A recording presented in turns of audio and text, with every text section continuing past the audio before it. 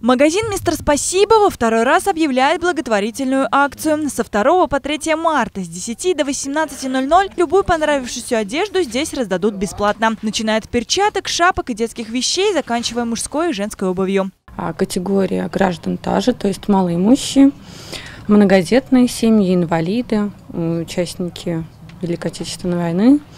А в данной акции мы хотим помочь побольше людям, мы хотим раздать по пять вещей каждому члену семьи. При этом статус льготного гражданина нужно подтвердить. Это значит, что во время акции, чтобы забрать одежду, при себе необходимо иметь соответствующий документ. Впервые владельцы магазина раздавали вещи бесплатно в декабре прошлого года. Тогда участниками акции стали 400 семей. Подобный благотворительный жест должен стать доброй и теплой традицией быть на постоянной основе. Мистер Спасибо – социальный магазин. Минимальная цена за товар составляет 50 рублей. Владельцами торговой точки с 1 октября является молодая семья. Всю лишнюю выручку Анна и ее муж тратят на помощь нуждающимся. Люди очень ждут очень много благодарственных писем было нам написано. Все люди добрый у нас город, могу сказать. Все очень благодарны.